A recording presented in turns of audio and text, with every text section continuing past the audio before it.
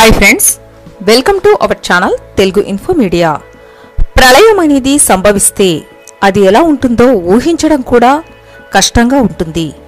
అలాంటి జల ప్రళయాన్ని తట్టుకునే ఏకైక క్షేత్రంగా సృష్టి లయకారుడు పరమశివుడు కొలువైన హిందువుల యొక్క అత్యంత ప్రాచీన పరమ పవిత్ర క్షేత్రంగా కాశీ క్షేత్రాన్ని చెప్పుకోవచ్చు.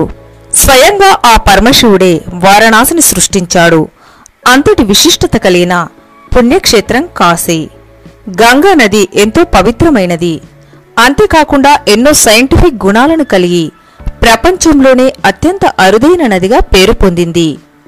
హిందువుల యొక్క అత్యంత పవిత్ర ప్రాచీన నగరమైన వారణాసిని మోక్షాన్ని కలిగించే పుణ్యక్షేత్రంగా పూర్వకాలంలో చాలామంది వారి చివరి రోజులు కాశీలో గడిపి అక్కడ మరణిస్తే మోక్షం కలిగి ఆ పరమశివునిలో శివైక్యం అవుతామనే విశ్వాసంతో అక్కడికి వచ్చేవారు.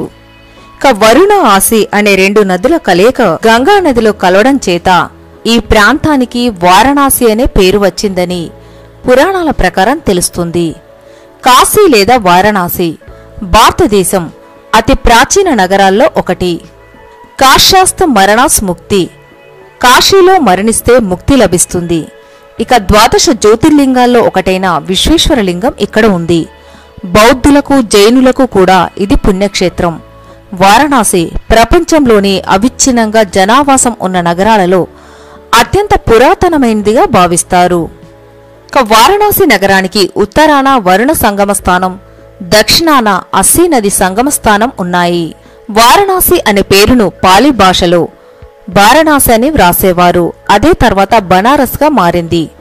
వారణాసి నగరాన్ని ఇతిహాస పురాణాలలో అవిముక్తక నగరం ఆనందకానన నగరం మహాశ్మశాన నగరం సురదాన బ్రహ్మవర్త సుదర్శన రమ్య కాశీ దీపాల నగరం మందిరాల నగరంగా పేర్కొంటారు. ఇక్కడ భక్తులు గంగా నదిలో స్నానాన్ని ఆచరించి ఆ కాశీ విశ్వేశ్వరుని దర్శిస్తే మోక్షం లభిస్తుందని సుదూర ప్రాంతాల నుండి ఇక్కడికి వస్తారు. ఒక సంవత్సరానికి దాదాపు ముప్పై లక్షల మంది భక్తులు ఇతర దేశాల నుండి రెండు లక్షల మంది విదేశీ యాత్రికులు కూడా మరి కాశీ నగరాన్ని సందర్శిస్తారు. ఇక ఈ నగరం అనేది ఐదు వేల సంవత్సరాల కంటే పురాతనమైందిగా. కాశీఖండం శివపురాణం స్కందపురాణంలో ఈ క్షేత్రం యొక్క విశిష్టతను వివరించడం జరిగింది. ఇక పౌరాణిక గాథల సారాంశం ప్రకారం పరమశివుడు వారణాసి నగరాన్ని స్థాపించాడని. ఇది హిందువుల ఏడు పవిత్ర నగరాల్లో ఒకటి. ఋగ్వేదం రామాయణం మహాభారతం వంటి అనేక పురాణాలలో కాశీనగర ప్రసక్తి ఉంది. వారణాసి నగరం సుమారు మూడు వేల సంవత్సరాల క్రింది నుండే వెలసి ఉందని అధ్యయకారులు భావిస్తున్నారు. ఇక వారణాసిలో సుమారు ఎనభై నాలుగు స్నానపు ఘట్టాలు ఉంటాయి. ఇక్కడ మణికర్ణిక ఘాటుకి సత్యహరిచంద్ర మహారాజు కాటి కాపరిగా నియమించబడ్డాడని అందుకే అధిక సంఖ్యలో ఈ ఘాట్లోనే దహన సంస్కారాలు జరుగుతాయి. దీన్నే మహాశ్మశానం అంటారు. ఈ ఘాటుకి దగ్గరలోనే తారకేశ్వర్ ఆలయం నుండి మరణిస్తున్న వారి చెవిలో తారకనామం ఆ పరమశివుడు జపిస్తాడని ఇక్కడ మరణించిన వారికి మోక్షం అనేది తప్పక కలుగుతుందని భక్తులు నమ్ముతారు. ఇక కాశీలోని వారాహిదేవి ఎంతో ప్రత్యేకతను కలిగి ఉంది. ఇక వారాహి అమ్మవారు రాత్రి అవగానే కాశీ క్షేత్రంలో తిరుగుతారని అమ్మవారిని ప్రత్యక్షంగా చూడలేం. ఇక్కడ అమ్మవారు ఉగ్రవారాహి రూపంలో ఉంటారు. ఆలయంలోని చిన్న రంధ్రాల ద్వారా అది కూడా కేవలం ఉదయం అంటే ప్రాతకాలం నాలుగున్నర నుండి ఐదున్నర గంటల మధ్యలో పూజార్లు కూడా కేవలం పదిహేను నిమిషాల్లోనే పూజ ముగించుకొని వస్తారు. ఆ సమయంలోనే మరి ఆలయంలోని రంధ్రాల గుండా అమ్మవారిని దర్శించవలసి ఉంటుంది. అమ్మవారిని కాశీక్షేత్ర పాలకురాలుగా భావిస్తారు. ఇక తొమ్మిది రోజుల పాటు కాశీలో ఉండి నిద్రిస్తే మోక్షం కలుగుతుందని కొంతమంది భక్తులు తొమ్మిది రోజుల పాటు కాశీలో గడుపుతారు. ఇక్కడ ఉన్న దశ్వమేధ ఘాట్ ఎంతో ప్రత్యేకతను కలిగి ఉంది. ఇక్కడ ఉన్న మరి ఈ ఘాట్లో ఎంతో మంది రాజులు అశ్వమేధ యాగాన్ని నిర్వహించారు.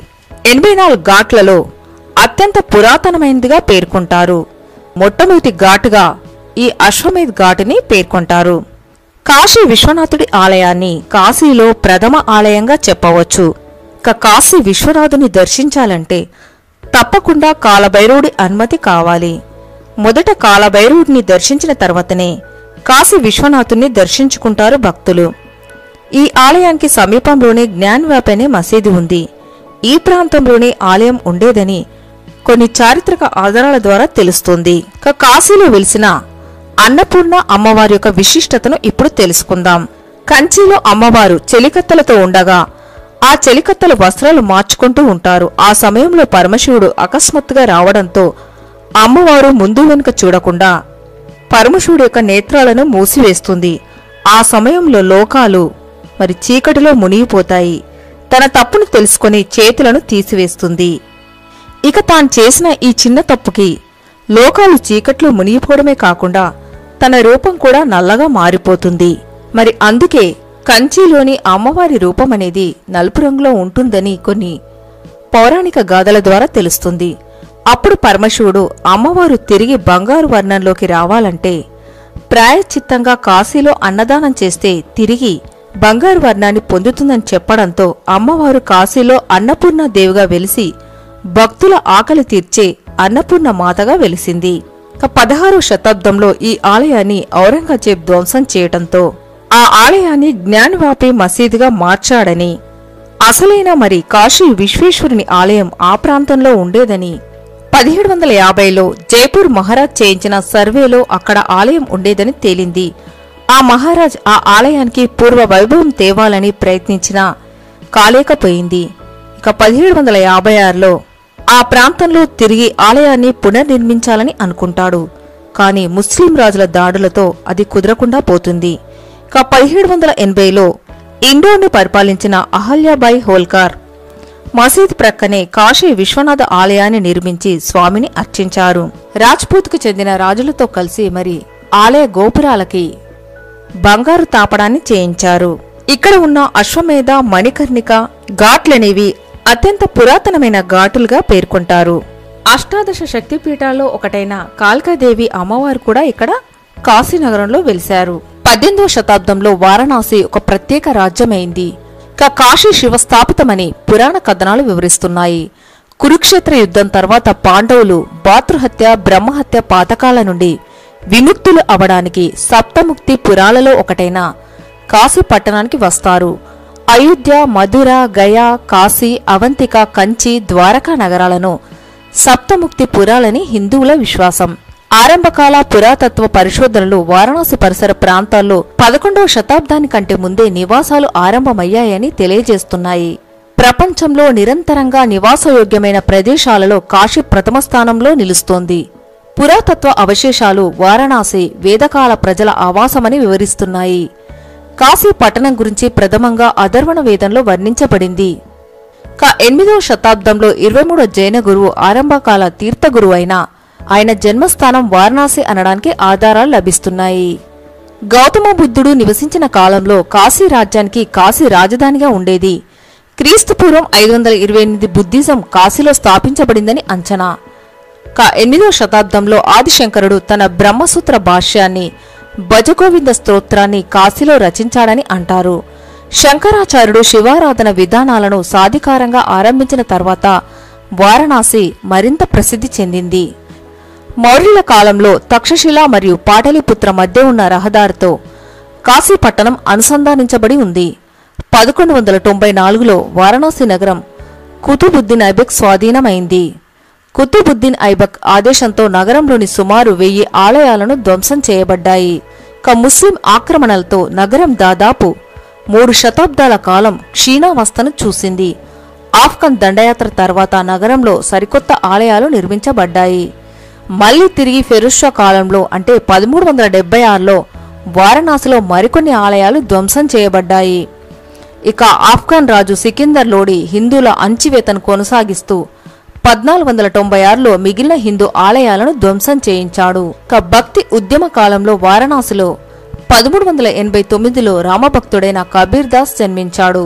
ఇక పదిహేను వందల ఏడులో గురునానక్ దేవ్ శివరాత్రి సందర్భంగా వారణాసిని సందర్శించాడు. ఈ సంఘటన సిక్కు మత స్థాపనలో అత్యంత ప్రాముఖ్యత వహించింది. గౌతమ బుద్ధుడు కాశీలోని సారనాథ్ వద్ద ధర్మచక్రం కదిలింది అంటే మొదటిసారిగా గంభీర ఉపన్యాసం ప్రజలకు అందించాడు. చైనా యాత్రికుడు హుయాన్ సాంగ్ క్రీస్తు శకం ఆరు వందల ముప్పై ఐదులో వారణాసిని దర్శించాడు హుయాన్సాంగ్ వారణాసిని పోలనైస్ అని పేర్కొన్నాడు. ఎన్నో ఆలయాలను ఆయన వర్ణించాడు. పద్దెనిమిది వందల తొంభై ఏడులో మార్క్వెటైన్ వారణాసి గురించి వర్ణిస్తూ బెనారస్ చరిత్ర కంటే పురాతనమైనది సాంప్రదాయాల కంటే ప్రాచీనమైనదిగా పేర్కొన్నాడు.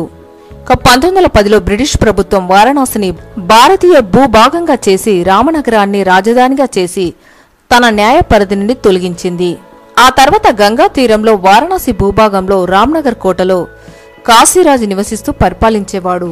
మరి ఇప్పటికీ ఆ రామ్నగర్ కోటను మరియు కాశీరాజులకు చెందిన వస్తువులతో మ్యూజియం నిర్వహించబడుతుంది. వారణాసిలో ముఖ్యంగా పట్టు వస్త్రాల నేత ప్రత్యేకంగా చెప్పుకోదగ్గది తివాచీల నేత చేతికలల వస్తు తయారీలకు ఇదెంతో ప్రసిద్ధి చెందింది.